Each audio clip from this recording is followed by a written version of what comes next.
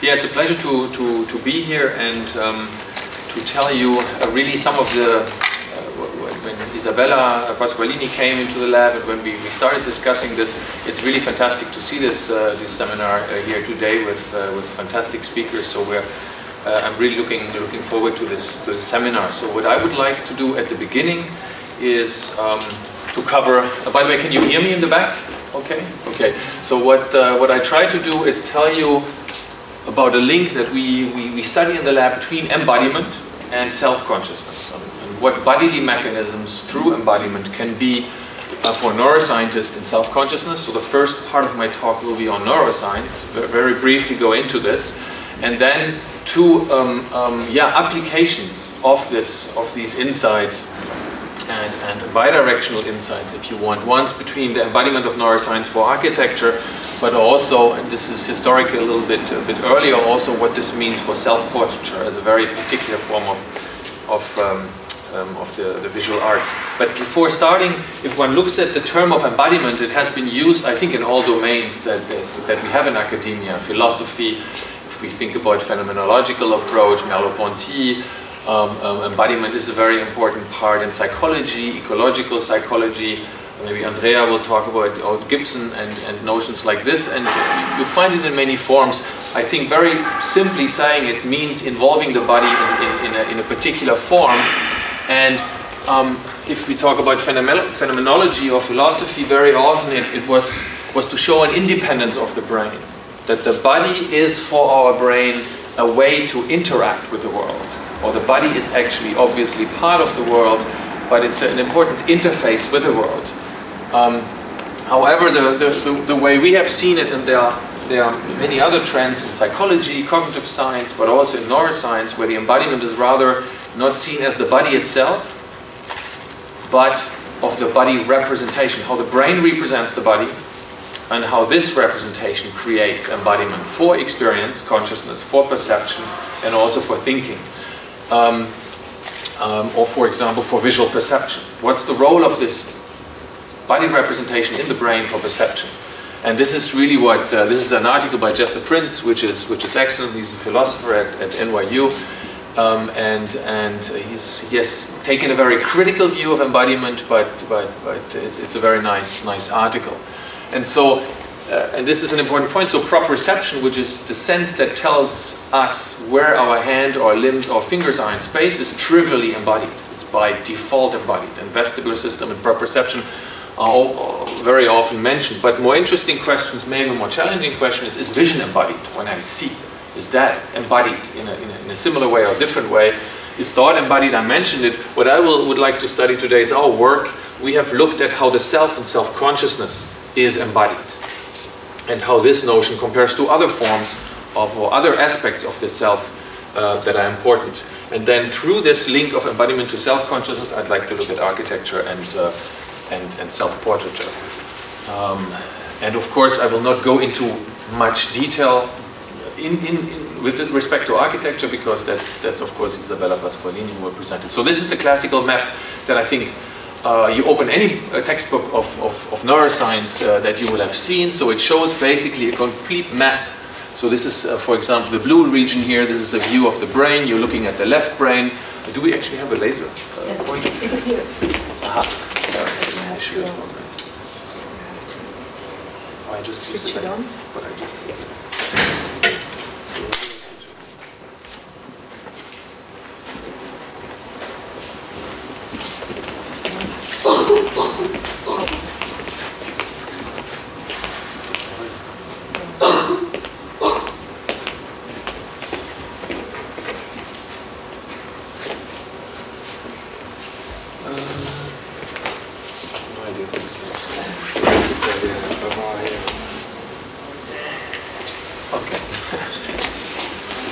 So, so this is a very classical map. So in this blue part of the brain, which is a, is a section here, you see it as well, there is a complete hemibody or complete body represented once in, in, in the brain. And it's basically a one-to-one -one representation to some degree.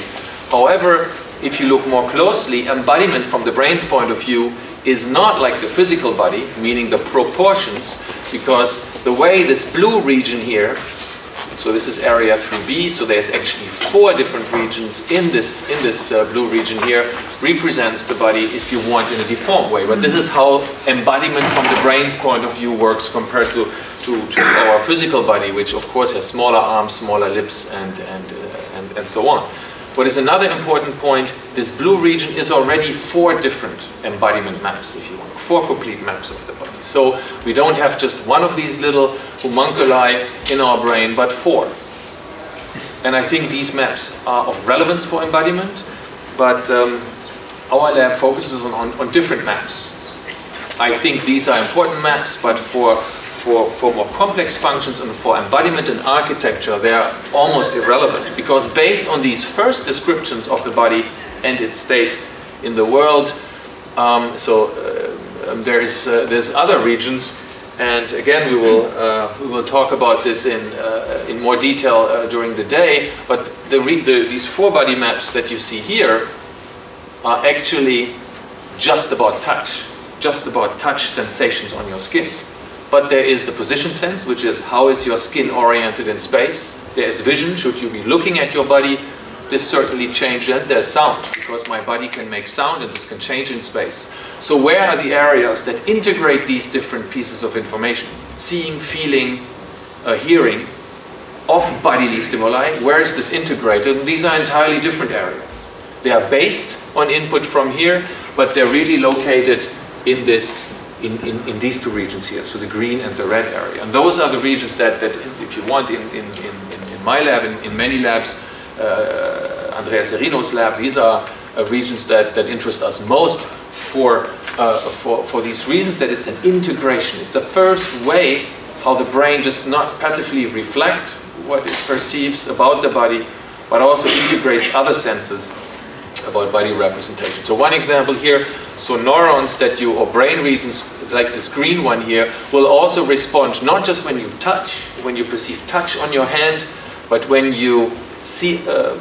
I'm not very good at using this, uh, so so it also responds when the, when the monkey feels approached, or feels a stimulus, or if I would feel a stimulus approaching this pink zone.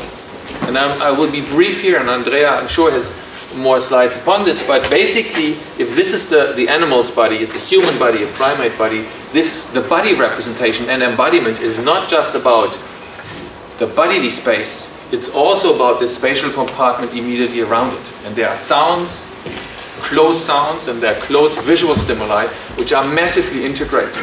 And the body representation in the brain is not a visual representation, it's not this uh, homunculus uh, uh, representation, but it's a mixture. It's an integrated, uh, fuller, more complete uh, representation. And this is, um, we can maybe hopefully discuss it later or at the end of this talk, is, is the brain representation that we mostly work with. And one of, one of the ways to test it is, is this illusion. So this is the experimenter, this is the experimental subject. It's called the rubber hand illusion. And it's an illusion that's, that puts into conflict what you see, it's much better with sound, but uh, I, I, I, will play it again. So it puts in conflict something we take for granted. When I see my hand at a certain position and I feel a touch there, it should come from the same position in space. But this illusion, the simple trick, is doing, and you can see it here, this is not the case. So this is the subject, this hand is positioned here, these different maps I mentioned initially are activated here because he receives touch here, but he doesn't see his hand. What he sees is this ridiculously looking fake hand or rubber hand at a different position in space. So you see touch here, but you feel it at a different position. And so these integration maps that I mentioned before, they cannot work properly. So we dissociate those. And this illusion is, is activating, as I, as I mentioned, it relies on these green and red brain areas, and it's one way of testing how the brain really embodies an arm. And for architecture and self-portraiture, what we're interested is how does is an avatar that I see, or a hand that I see, or a space that I see embodied um, by a brain representation. However, we're not studying arm representations because again, one message uh, this, uh, this, this early afternoon is that this hand or finger representation or the foot representation is not key for architecture. It's rather the representation of the trunk for me as a subject as a whole. And for this one, we developed this, this other illusion. Um, um, which uh, I have explained more in this, in, this, in this next slide. So what is happening in this illusion, it's very similar to the rubber hand illusion that I showed you on the slide before, but instead of having a visual stimulus on the hand at a different location than where you have a touch uh, on your hand, we displaced a touch on the back with a touch at the back of an avatar that, that you see, or a filmed body of your own body. So this is, this is how we how we set this uh, up. So the experimental subject is now here, is wearing a head-mounted display, and the camera, this is standing two meters behind. It's a bit shorter here in this, in this video, but in the original experiment, it's the filmed is filmed from two meters behind. This is the head-mounted display that we used at the time. And so what this person sees is what the camera sees. So there's then basically also a two meter distance here, and you see your own body, virtual body, can be another body, um, that you see two meters in front of you because the position of the camera, so what, you, what the camera sees is basically projected here. So very simple setup and very much like the rubber hand illusion what we did is we applied a touch cue to the back so the subject in this orientation feels the touch here on the back but sees it two meters in front. So it's a very similar setup than the, the rubber hand illusion and we were interested in, in two things that had been studied with the rubber hand. Subjective experience where do I localize touch? Do I localize touch where I see it? At my hand or at the avatar? Or do I really localize it at my back? Can I misperceive or mislocalize touch perceptions to, to, the, to the avatar's uh, back position? And where's my center of awareness situated after, after this illusion? Because those were two effects found by the rubber hand illusion. And first what we could find, we could quantify several subjective changes during the illusion. First of all, in this illusion you see, I think, a video of what the subject sees in here. So the stroking is applied here, but it's seen two meters in front. So you localize touch strongly here, but only when, like in this uh, case here, the stroking is applied synchronously. So you see it at the same time when you feel it. If there is a delay between the two, this illusion does not work. And this is shown here. If the stroking between what you see and what you feel is at a different moment in time, uh, sorry, it's at the same moment in time, you get a strong illusion. So you displace your perceptions from your body to uh, a different position in, in, space, in this case an avatar, and when the stroking, feeling a touch here and seeing it here at a different moment in time is desynchronized, this does not occur what is made is, is, is, was interesting or most interesting at the time, we could say, oh, these are subjective changes. Of course, we control them through, through experimental conditions. But if we ask people after this illusion, if they have been exposed to the illusion here, and we displace them, and we ask them to indicate the position where they have been standing during the illusion, they don't walk to the correct position, they just walk too far. And they walk predictably far, namely into the direction of the visual avatar. So there's a dominance, if you want, of the visual embodiment mechanism over the touch embodiment mechanism. So there's this, this link here. Um, again, happy to discuss more, more details about this. Um, again, one of the main roles in the lab is really to find out and, and to describe in detail the dedicated uh, processes in this area, which part is doing the visual processing, which one is doing the touch processing, and most of all, which, which area is the one doing um, the integration. So in order to uh, summarize this, this first part, um, so there's basically two bodies that we present. There's a visual body or an avatar in this scenario. There's our experimental subject or visitor of a museum or visitor of a space or a spectator in front of a self-portraiture if you want. And when we induce this illusion, applying touch uh, stimuli here and seeing it at a different location, the brain learns to integrate and project bodily feelings towards the seen position. So there is the sensation that touch that you see applied here is felt two meters in front of you, which of course physically is not possible. You identify uh, with this avatar and you have a projection. Your center of awareness is shifted from here several centimeters into this direction. So basically, this illusion, we start making errors where about something we shouldn't make errors. Where's our center of awareness right now? Well, it must be somewhere in a volume around my position right now. But somehow this volume shifts, shifts forward and we can control this to some degree uh, in, the, in the research lab. But I think that's not all. I think many important, so this is more than self-protection because many important changes also happen um, for the observer's body. The only change is not just that I feel with respect to the body differently, but this is also changed here. For example, if you measure pain threshold during these illusions, those pain thresholds are higher. So it takes longer before I say ouch as a subject. But it means that how I perceive pain has changed. I perceive less pain here if I'm embodying the avatar in front. There's also temperature changes, which may be interesting. Why is the body cooling down? I perceive um, less pain, I, am cooled down, and, and, and there's other physiological changes. So embodying somebody else comes with consequences for the, the touch representation and the motor representation um, here. I think even immunological responses have been shown to change. And so I think this notion, I will not go in, into detail concerning architecture, but it's a bidirectional change. That's uh, something I think I put on the slide here. It is not just a projection from here into the space or into the avatar or into that region where the avatar is shown. There's also an impact of what I see on my body representation, for example. Important work of a colleague from Karolinska has shown that if this avatar is receiving visual threat, my body right here reacts differently. Maybe an architecture experiment would be um, that the architecture creates the threat. So if there is a virtual space built around here, or if the Pantheon is built around here and changes some structures, is a threat response or any other physiological response changed? More, some aspects that Andrea Serino and I are, are very interested in.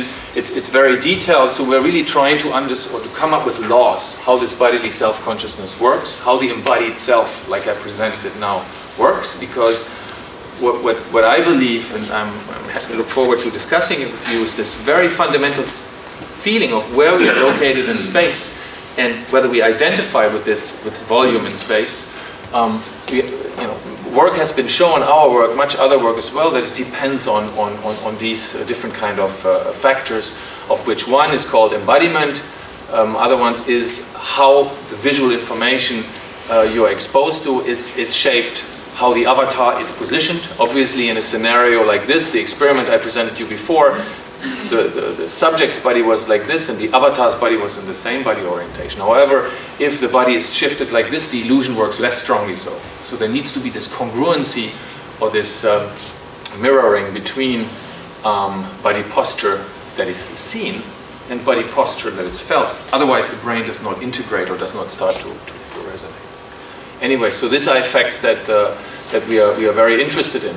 And so to, to also sum up this part again, of course the self and bodily self or self-consciousness relies on many other factors, cognitive factors, memory, language, concepts we have about ourselves. However, we pursue the hypothesis that the body representation is the most fundamental one. It's also one that we share uh, with animals. And in, in, in a nutshell, so this is again that this multisensory integration of bodily signals is the most fundamental self uh, brain representation for self-consciousness. And to put this in a historical perspective here, I cannot go into detail, but of course this is based on much previous work. Uh, Antonio Damasio, for example, uh, Ramachandran from San Diego, Chris Frith in, in London, and Marc Jeannerod in, in Lyon have all worked on very similar notions. The link to the self or to this trunk-related representation of the self, however, uh, has been has been less, less strongly proposed. So in the end, so, what we really work on, based on this previous work, we're, we're trying to understand how really this trunk, maybe hand representation, but essentially this trunk rep representation, as a very primitive, even Drosophila had such a representation. But it is the unique and most global representation of the body we have with respect to space. So, so we, we mostly study um, this representation. But if you look at the field of neuroscience, again, I think even about embodiment, most of the people look at fingers, maybe arm representations, or even hand movements. So it's like as if, uh, like the visual system studies the fovea a lot, and the central part of vision, my field of, of neuroscientists of the body and the embodiment seem to focus very much on, on, on fingers and, and hands, which, from my perspective, are not the crucial elements to understand how I am embodied in, in, in, in, in the world. So, to, so Isabella will talk uh, more about this. So we started this work in order to, to, to better, to, to, first of all study multisensory mechanisms in architecture, to go away from only space perception or only visual perception. There was a tremendously rich liter literature already, but to see how this multisensory way of seeing the body can be of interest uh, uh, for architecture. Um, And one goal was, of course, to facilitate, maybe by understanding how this relationship between me and the space that I'm in uh, is, is, studied, to, to also see how this can facilitate or augment the experience or the design of, of such uh, environments. So one study that uh, Isabella will talk about showed that how this um, projection works into different architectural spaces. So one, one uh, condition she compared is how does the surrounding of the avatar, here you see the, um, the, the, the, own body filmed in standing in a large space versus a very narrow space, does the space around the avatar change how you do embodiment? And other forms is uh, how can I really project myself into the space? So it is again this bidirectional projection and, and what's the relevance for, for architecture. So again here, uh, I think uh, th there will be more talk about this as well. Of course, we're standing uh, on, on, on, the shoulders of, of other people. I, I, mentioned just Vischer and, and here, who, who, um, who had made similar notions, I think, at the end of the 19th century, based on a lot of physiological research and oculomotor eye movement-based research, um, which actually, by the way, especially eye movements may have a particular link to this, to this trunk and head representation. So this is just one room um, that Isabella uh, has worked with, so visual tactile rooms. Um, another room is a cardiovisual room, which is another form how we can use, and so far I neglected it, but time is short, also interoceptive representation, heartbeat signals, breathing patterns, um, are an essential part of the bodily self. And so we, we have used it here in this one uh, scenario. Okay, five more minutes. So it's um, so this is work that um, instead of architecture, a question I had since we work with avatars and we are interested in self uh, representation in the brain, how, how can this maybe be of relevance for having a different form of linking to, to the visual arts, in particular self-portraits?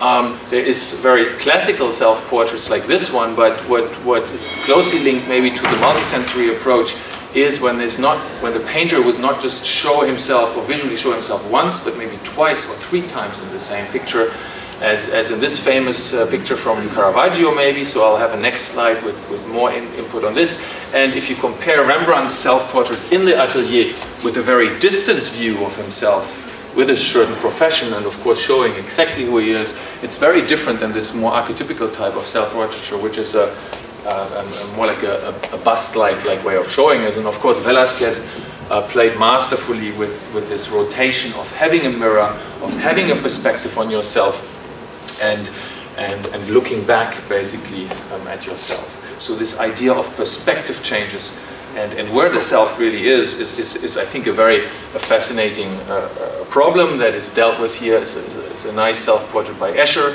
who again shows there's a visual component to it, there's a felt component here, and, and you can ask, of course, yourself whether Escher is here looking out or whether Escher is standing in front looking into the picture.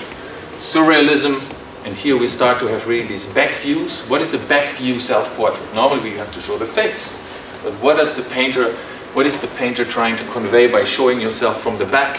This is René Magritte, uh, La Reproduction Interdite, standing in front of a mirror, and then in the mirror, this is even enhanced. Instead of seeing a reflected front face, you, you continue seeing this. So this is in the Romantic area, also 19th century, the back figure was actually quite, quite an important So again, I just briefly mentioned this here, but there are links also with respect to Bruce Nauman to this illusion um, that we had. So whether you show a self-portrait with front-facing or with back-facing, the artist may or wish to convey um, different aspects. skip this one. So this is um, briefly work by, by Nicole Ottiger, who went one step further. And what we, we uh, did or worked together with uh, Nicole was to see whether she can use our setup, and she, or she was actually interested in using our video ergo sum setup to paint or draw, sketch self-portraits. So she was wearing the device, and this is shown in the next uh, video here, that I just let play like this and this is the synchronous condition. So basically, she's standing between what she's drawing and between the camera, just like our experimental subjects before. And then, of course, she's blindfolded, except that her eye see, sees what the camera behind herself is seeing. So this kind of loop that we're trying to study also in architecture can, I think, also be studied in, uh, in, in, in, paintings of the own of the own person. And in particular, those conditions who were desynchronized were most interesting for, for Nicole um, at this time. So these are just two of the, the sketches uh, she made. So this is a natural tendency for her to draw herself them twice. So this is a, uh, one image she, she, she showed and at some point she also started using a mirror in order to also visualize and she could see herself better because otherwise when she wanted to see herself while she was painting drawing here she had to turn around uh, look at herself and then turn back around so she could never see herself uh, while while she was painting the image and so this blindfolding um, um, was, was particularly interesting for me. The last, how much uh, time do I have? I think I have two more slides. Um, so next to embodiment, I think there's one other component that is, is, is maybe important to mention, and this is the situatedness. So we're not just embodied in a way, or with the term embodiment comes also that our cognition and perception is situated. It is situated somewhere in, in space. And again, Jesse Prinz dissociates this and separates this from, uh, from embodiment per se, but in the difference that we identify with the body and that cognition and perception may be linked uh, to processing of the body, consciousness is also situated with respect to other humans, but also with respect to the environment. Um, consciousness is situated um, as being consciousness, uh, as, as conscious in the way that we, sorry, what is this? There's a problem here. Being located in a physical environment makes a contribution to our mental capacity. So it means not just being in a body, but also being in a space that is surrounding you. Also impacts you, um, your perceptions and your vision. And I think this notion of situatedness even more links to um, links to um, to architecture. And we have seen this already. This is again this recalibration, this positional recalibration change. We did not simply identify more or less with the avatar. We were shifted towards the avatar. So our situatedness in space has also changed. It's not by definition where the body is physically. It can be where the brain represents the body to me, uh, to, to be. And this is was most strongly shown maybe by work that we did a, a while ago on so-called out-of-body experiences, where stimulation at certain regions or interference uh, with this region can lead not just to a translation, to a forward translation, but also to a displacement in a completely different part away from the body, which is also associated with the flotation. And I think those aspects may link to entirely different aspects of architecture, mostly about what is the perspective that I have at a certain environment. We seem to take it for granted that the only perspective, the true first-person perspective I can have is visual, but I think these, uh, these data here, which uh, are partly reproduced also in, in, in the research lab show that actually other non-visual perspectives can take over because we will have not just a visual first-person perspective, but also an auditory or a somatosensory first-person perspective.